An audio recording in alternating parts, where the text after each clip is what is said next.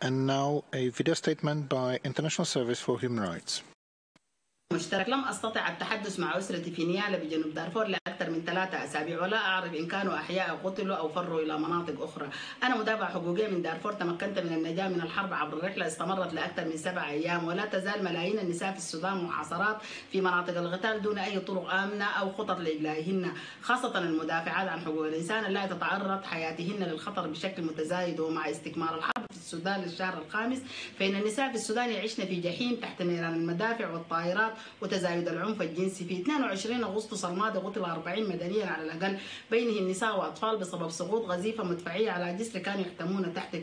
ولقد قتل العشرات في الخرطوم جراء القتال في الأحياء السكنية وتمت محاصرة الأبيض وأصبحت الجنينة مدينة أشباح بسبب العنف الإثني وتتعرض النساء لعمليات ممنهجة من الخطف والاغتصاب مع توارد تقارير حول بيع نساء أو طلب فدية مالية لإطلاق سراحهن. من قبل مختطفين ينتمون لقوات الدعم السريع. وتتعرض النساء المدافعات عن حقوق الإنسان لتهديدات متزايدة مع إغلاق الفضاء المدني لعملهن. في 7 أغسطس منعت قوات الأمن قيام ندوة في الجزيرة وتم تهديد النساء المنظمات. كما اعتقلت قوات الأمن مجموعة من النساء في النيل الأزرق لتنظيمهن وقفة احتجاجية تدعو لوقف الحرب.